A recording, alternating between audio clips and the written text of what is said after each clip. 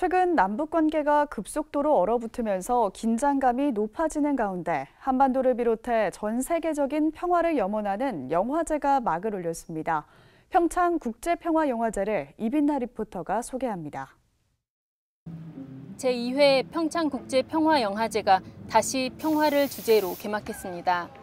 지난해 평창 남북평화영화제라는 이름으로 첫 선을 보였던 영화제는 올해엔 남북 대신 국제영화제로 이름을 바꿨습니다. 한반도의 평화를 지향하는 영화제의 정체성은 유지하되 다양한 국제적인 이슈들을 아우르며 전 세계적인 평화를 이루고자 하는 마음에서입니다.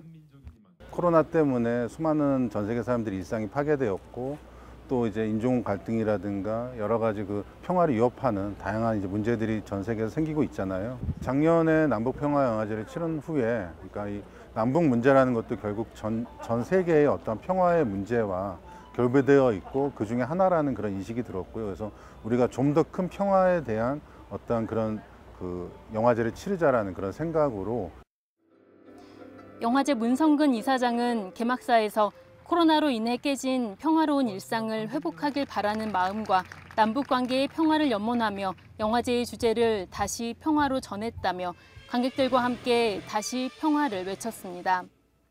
우리 영화제의 이번 슬로건은 다시 평화입니다. 코로나로 멈춰선 세상 그리고 인종 갈등으로 시위가 이어지는 세상을 보면서 다시 평화를 떠올렸습니다. 그런데 엊그제 다시 멈춰서는 남북 관계를 보면서 이 다시 평화가 이렇게 간절할 수가 없습니다. 그래서 오늘 영화제는 우리 모두 함께 개막을 선언했으면 좋겠습니다. 다시 다시 올해 영화제의 개막작으로는 제2차 세계대전 당시 원자폭탄 개발에 결정적 역할을 한 폴란드 출신 천재 수학자 스타니스와프 울람의 회고록을 바탕으로 제작된 독일 영화 어느 수학자의 모험이 상영됐습니다. 이번 영화제의 평양 시네마 섹션에선 존 마지오 감독의 끝나지 않은 전쟁 등 한반도 분단 상황과 북한 현실을 전하는 다섯 편의 영화를 선보입니다.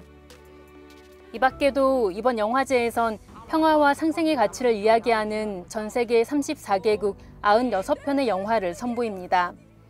또 유소년과 함께하는 평화 아카데미와 6.15 공동선언 20주년 기념 사진전 등 평화의 길을 모색하는 다양한 연대 행사들이 마련됐습니다. 올해 영화제는 코로나19 감염 예방을 위해 자석 간 거리두기와 발열 확인 등 방역 수칙을 철저히 지킬 예정입니다. 평화의 가치를 이야기하는 제2회 평창국제평화영화제는 이곳 강원도 평창 일대에서 오는 23일까지 진행됩니다. CBS 뉴스 이빈나입니다.